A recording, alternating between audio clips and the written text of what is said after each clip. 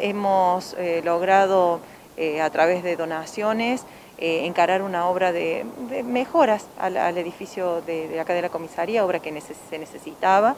Y bueno, con donaciones de los vecinos, con cero costo monetario, salvo la mano de obra que, el municipio nos aportó y gente de la zona, eh, se pudo concretar esto que para nosotros es muy importante porque el Consejo actúa como gestor, como articulador eh, con el vecino y las instituciones. Entonces, bueno, eso tiene un mayor significado que la obra en sí, el poder trabajar con, la comunidad y las distintas partes hacia un objetivo claro, que en este caso fue hacer unas mejoras que, tanto hacían falta, ¿no es cierto? Sofía, indudablemente esto también tiene que ver con una realidad y es que muchas comisarías conocemos el Estado, sabemos cómo están y necesitan de, la ayuda porque muchas veces desde el mismo gobierno no llegan.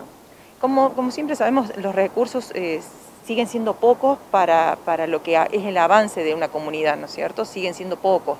Entonces, el aporte desde la comunidad eh, ayuda, colabora, pone un granito de arena, pero también un, aliciente para que eh, también nuestras instituciones se sientan respaldadas por los vecinos, que no todos son palos, eh, que sabemos con, los elementos que trabajan y, así todo este, apoyamos sus gestiones.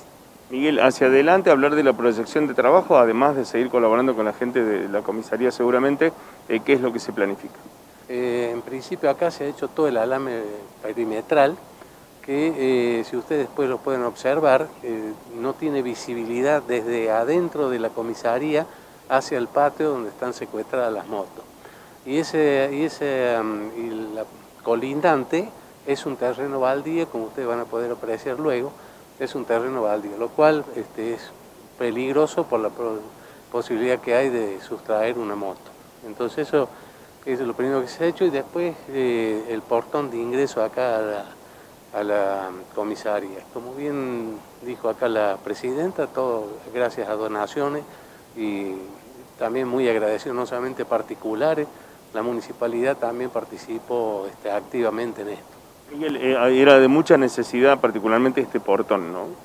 Por supuesto, porque es el portón de ingreso a la comisaría, o si no tiene toda una visibilidad desde fuera de, ella eh, hacia adentro. Con respecto a la planificación eh, que hace puntualmente, que me preguntabas en relación eh, siempre a la comisaría, estamos gestionando por todos los medios este, la conexión de, gas. El gas natural pasa acá por la puerta de la comisaría y es una pena que no lo tengamos en forma interna, este, porque obviamente el personal, aparte de las temperaturas que ya sabemos son muy bajas acá en Villa Yardino, el personal se tiene que traer sus propios elementos de calefacción.